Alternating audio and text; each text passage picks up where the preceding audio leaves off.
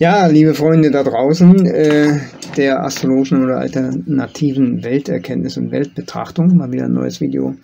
Jetzt zum Thema der äh, sich bewegenden und reisenden Gefährten von uns, der Sterne sozusagen, der Gleichnisse, die am Himmel auch immer eigene Reisen durchmachen. Ich hatte wie üblich wieder wenig Zeit. Manchmal gibt es einfach so Lücken, wo ich natürlich aus eurer Sicht wahrscheinlich nur auf der faulen Haut liege in der Hängematte zwischen zwei Palmen mit einem Cocktailglas in der Hand und blicke auf äh, die ruhende, vor mir ruhende Südsee. nee, nee, ist leider nicht so. Ähm, nee, ist nicht so. Ich habe dann immer in der Regel eine ganze Weile was zu tun. Und letztens war es auch so, muss ich dazu sagen, dass bei dem Vollmond, wobei ich das Prinzip Vollmond wieder ein Stückchen besser begriffen habe, äh, interessanterweise, äh, durfte ich auch nochmal ein paar Ablöseprozesse durchmachen. Das war ganz interessant. Wir haben also den Vollmond ja gehabt im letzten Drittel von Skorpion. Ich habe, glaube ich, darüber auch gesprochen. Bisschen differenzierter. Äh, da geht es wirklich um das Loslösen oder Heraussteigen aus den Resten alter Fesseln, alter Fesselungen, alter Fixierungen. Ähm, Fixierungen, an, Fixierungen an Skripte, die uns nicht mehr gut tun, die einfach nicht mehr stimmig sind. Guttun ist ja schon wieder fast subjektiv, ja, ist ja schon wieder fast eine Wertung. Sie sind für unsere Bewegung, unsere Reiseentwicklung nicht mehr stimmig. Deswegen müssen sie verlassen werden. Und das ist auch wirklich passiert. Parallel hatte ich dann ähm, ein Rumoren dessen, was wie abgekapselt, äh, Skorpion, ja, etwas ist abgekapselt, oder Pluto, äh, etwas wie abgekapselt und nicht frei geworden ist ähm, sich gezeigt hat, ein Rumoren, da hat sich ein Weisheitszahn gemeldet während des Vollmonds. Ein paar Tage davor und ein paar Tage danach hatte ich echt damit zu tun. Hm, ich bin ja Gott sei Dank kariesfrei, dank äh, Chlordioxidspülung regelmäßig, Mundspülung. Äh, aber der Weisheitszahn, der hat sich dann doch da mal gemeldet, der liegt da irgendwo quer, irgendwo, irgendwo da in mir halt, ne? Und hat gesagt, ich will mich mal melden. Ich bin hier eingeschlossen hier im Pluto und wollte mich mal zeigen, dass ich noch da bin. Ja, das hat, war nicht leicht. Okay, so, ähm, genug der Vorrede. Ich will ein paar Worte über die aktuellen Konstellationen verlieren und ein bisschen Hinweise geben auf das morgige Seminar, was ich morgen Abend mache. Morgen wird es äh, das erste Potpourri oder ich nenne es äh, gegebenenfalls auch ein bisschen spaßhalber ein astrologischer Kessel Buntes. Die, die aus dem Osten kommen, die wissen schon, wovon ich rede. Da gab es so eine, so eine Entertainment-Sendung äh, damals bei uns, äh, ein Kessel Buntes, wo dann die ostdeutschen Schlager, Schlagerstars und ähm, Comedy-Größen, Herricht und Prall etc. sich die Klinke in die Hand gegeben haben und ein bisschen Zirkus, ein bisschen Tanz, ein bisschen Kinkerlitz in ein Kessel Buntes halt im Friedrichstadtpalast war das damals. Äh, ich glaube, einmal im Monat, Samstagabend, wurde das dann entweder aufgezeichnet oder übertragen, ich weiß nicht mehr. Also von allem etwas, weil es gibt einfach zu viele interessante Themen, die man immer mal so aufs Tablett legen könnte. Und ich forsche ja ständig kreuz und quer, weil ich ja fast täglich damit zu tun habe, wenn ich nicht gerade mal am Haus baue oder, den, oder Terraforming mache, hier ganze Landschaftsgärten anlege. Ähm forsche ja ständig kreuz und quer oder wache morgens auf und habe sofort eine Reihe Ideen, die ich manchmal eine halbe Stunde später wieder vergessen habe, wo ich denke, scheiße, warum hast du jetzt nicht notiert? Das war interessant. Ähm, wir werden morgen im Seminar äh, unter anderem mal ein bisschen uns mit Mundanastrologie befassen. Dann werden wir uns unter anderem befassen mit Reisehoroskopen für die einzelnen Planeten. Ja, oder für die Tierkreiszeichen. Zum Beispiel, jetzt gleich werde ich ein bisschen was reden über ähm, den Eintritt der Sonne in den Zwilling, was quasi, was man quasi als Jahreshoroskop betrachten kann. Ja, wo man sagen kann gewissermaßen, jetzt gucken wir doch mal, was die öffentliche Organisation oder die Organisation oder die Regelungen des sozialen Lebens dieses Jahr so potenziell durchmachen werden. Da guckt man halt nach dem Eintritt der Sonne in das Tierkreiszeichen und die entsprechende Konstellation und guckt sich das für ein Jahr lang an, rhythmisch oder als Transit oder was auch immer. Oder man guckt äh, den Eintritt eines Planeten an. Ja, zum Beispiel jetzt haben wir ja den Mars, der kurz davor ist, der, die Fische oder den Fisch zu verlassen. Der steht jetzt heute bei 28,50. Er ist also in gewissermaßen äh, in einer Lähmungssituation, in einer Zurückhaltungssituation. Wir wissen ja auch nicht genau, was da im Osten der Ukraine passiert. Äh, das ist ja relativ Nebel, außer ein bisschen, bisschen besseren Einblick kriegt man halt, wenn man die Russenländer anguckt, was man ja offiziell nicht darf. Also man darf es schon, aber sie möchten es nicht, deswegen versuchen es ständig zu verhindern. Aber man findet natürlich die, äh, äh, den Feindsender und kann sich da deutlich differenzierter informieren als in den westlichen Bereichen, finde ich, jedenfalls persönlich. Deutlich differenzierter und für, ich finde auch sachlicher. Okay. So, aber jedenfalls, man kann also die einzelnen Planeten betrachten als Reisende, die, wenn sie im Laufe ihrer Reise durch den Tierkreis, manchen Planet braucht länger, mancher kürzer, je nachdem, in ihr eigenes Zeichen eintreten, so wie jetzt der Mars in den Widder, dann ist es so, als wenn die von einer Heldenreise zurückkommen. Nach einer langen Heldenreise sind sozusagen im letzten, zum Beispiel wie der Mars jetzt hier in der letzten Etappe, in der zwölften Etappe, das wäre für ihn der Fisch, und dann bringen sie sozusagen die Erfahrung einer ganzen Reise der letzten zwei Jahre mit nach Hause und begründen beim Ankommen gewissermaßen auf der Basis dieser Erfahrung oder dieses Wissens, was sie mitbringen, eine neue Ordnung in dem Bereich, in dem sie herrschen. Und das ist ja das, was wir jetzt draußen auch sehen, davon mal abgesehen.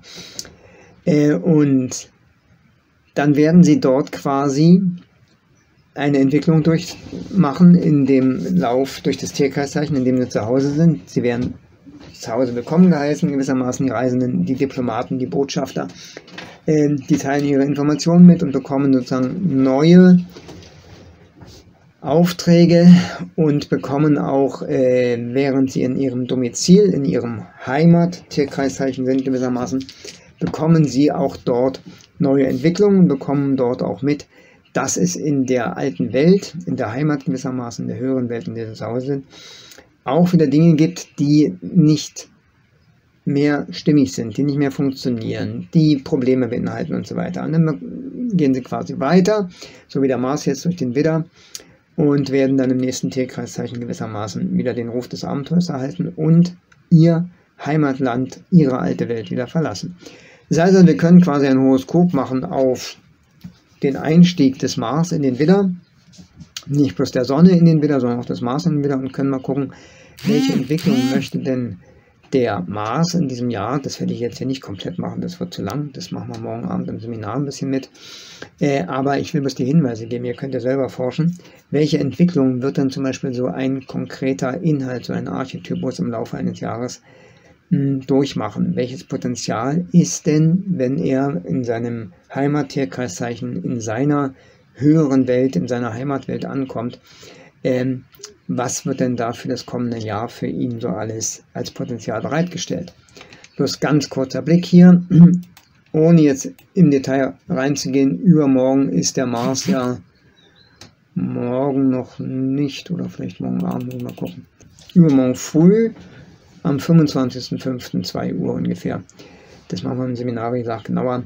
Äh, wird der Mars in den Widder reinlaufen und das Potenzial, was er da antrifft und das Potenzial, was quasi die Basis seiner gesamten nächstjährigen oder zweijährigen Reise ist, ist natürlich mächtig gewaltig.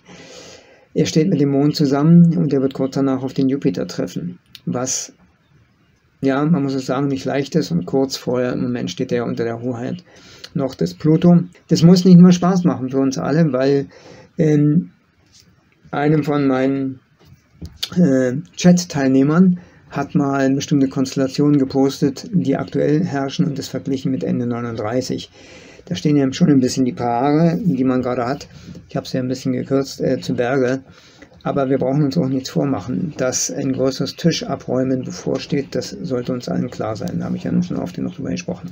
Aber wir sehen alleine schon bei diesem Eintritt des Mars in den Widder, am 25.05., das ist übrigens, hat auch eine Korrelation zum Grund, zum sogenannten Grundgesetz, am 25.05.22, ähm, das ist ja deutlich ersichtbar. Ja. Also wenn der Mars mit dem Mond zusammensteht, ist das natürlich schon eine ganz gewaltige Aufwühlung der Innenbereiche von allen empfindungsfähigen Wesen. Da kocht meist was hoch, was da schon länger eingelagert ist oder schlummert.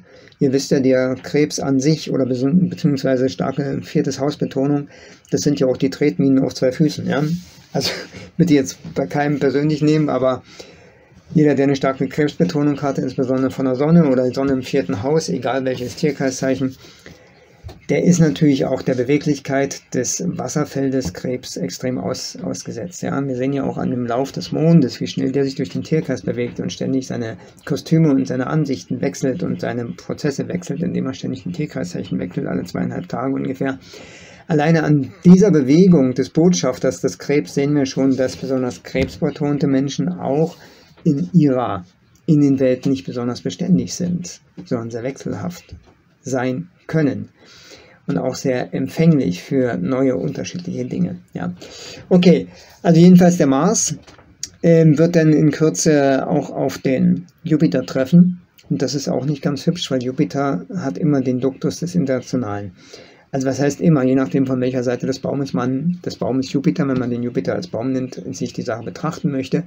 Aber wir müssen schon bedenken, dass der Jupiter eine ganz erhebliche Ausdehnung, gewissermaßen auch eine Internationalisierung des Mars darstellen könnte.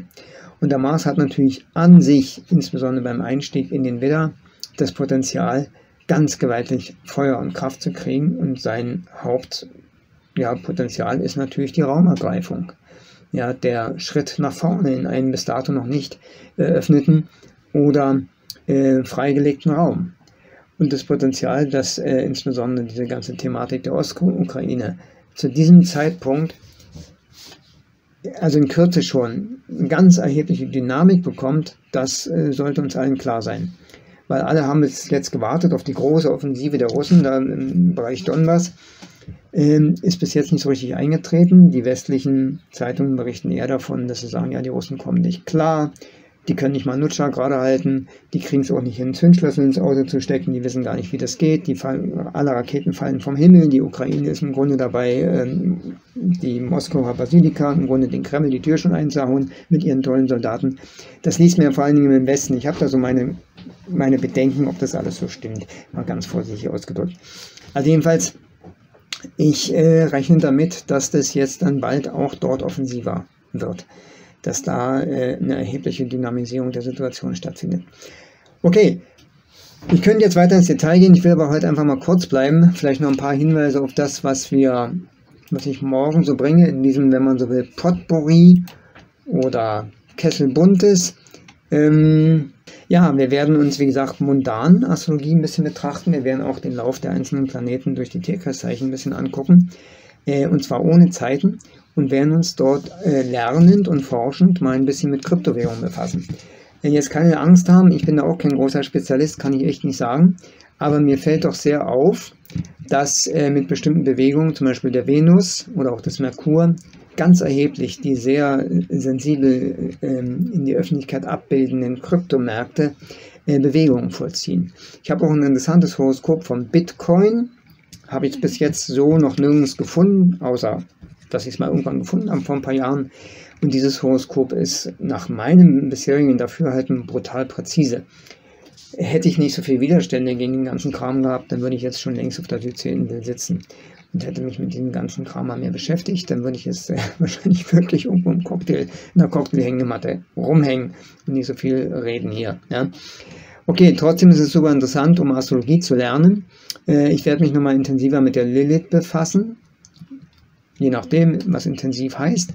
Wie gesagt, die Merkurreise werden wir uns angucken, die Bewegung des äh, öffentlichen Lebens im kommenden Jahr, die Entwicklungen dort. Wir können auch mal einen Blick in die Sonnenreise werfen, das heißt der Eintritt der Sonne in den Löwen, so nenne ich es. Hm, dann habe ich noch ein, zwei, wo ich noch abfragen muss, äh, private stundenastrologische Fragen, die mir sehr interessant erscheinen, die man nicht angucken kann. Ähm, dann werden wir auf alle Fälle das Thema, so ein schönes Horoskop wie das Nachlassen der Zahnschmerzen. Ja, das ist mundan. Das ist jetzt mundan Astrologie, wovon ich rede. Jetzt geht es jetzt nicht um mein Horoskop, ja. Also, also ich habe ja keine Zahnschmerzen, Zahn, Weisheitszahnschmerzen. Dass es irgendwann einen Punkt gab, wo ich im Auto saß und plötzlich gemerkt habe, so schon ein paar Minuten lang, irgendwas verändert sich und plötzlich wurde mir voll bewusst, es wird besser, es lässt nach. Und dann habe ich das Horoskop drauf gemacht und alleine an der Bewegung der Häuserspitzen kann man schon sehen, wie präzise wir alle mit allem zusammenhängen.